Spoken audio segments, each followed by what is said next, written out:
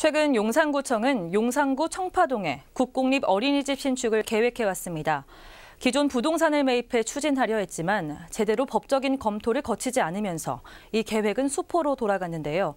어찌된 일인지 김동은 기자가 보도합니다. 용산구 청파동에 위치한 한 건물입니다.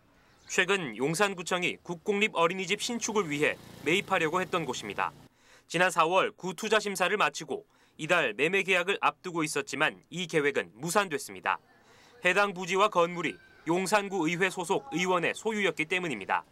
지방자치법 제35조에 따르면 지방의원은 해당 지자체와 영리를 목적으로 거래할 수 없고 지방계약법 제33조에 지방의원이 해당 자치단체와 영리를 목적으로 하는 계약을 체결할 수 없도록 규정하고 있기 때문입니다.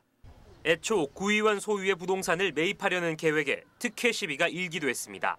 하지만 당시 구청 측은 이미 서울시 심의를 거쳤고 절차적으로 문제될 것이 없다는 입장이었습니다. 나름대로 지원들이 그 홍보하면서 어떻게 국부 국공위지 그 저를 확보할까 하는 차원에서 하다 보니까 이제 그런 세세한 부분까지 그 하긴 못한 부분이 있습니다. 법적인 사항까지 못 챙긴 부분 제가 인정합니다.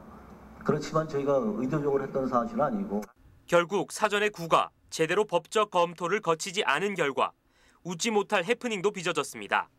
이미 지난 2일 구의회는 이 안건을 통과시켰지만 법 저촉 여부를 뒤늦게 알아채고 지난 20일 번안 동의를 거쳐 결국 번복해야 했습니다. 아무리 좋은 취지도 법을 뛰어넘을 수는 없습니다. 악법도 법이라고 했습니다. 그래서 이 기회로 공무원들께서도 좀더 좀 준비를 철저하게 기해 주시고 저희 우리 의원들께서도 안건을 좀 더 심도 있게 검토하는 수 있는 그런 어떤 새로운 각오를 다지는 계기가 되었길 바랍니다. 철저하지 못한 집행부의 계획으로 무산돼버린 국공립 어린이집 신축. 그동안의 행정력 낭비는 둘째치더라도 불거진 특혜 시비를 잠재우기는 한동안 어려워 보입니다. 딜라이브 서울 경기 케이블 TV 김동훈입니다.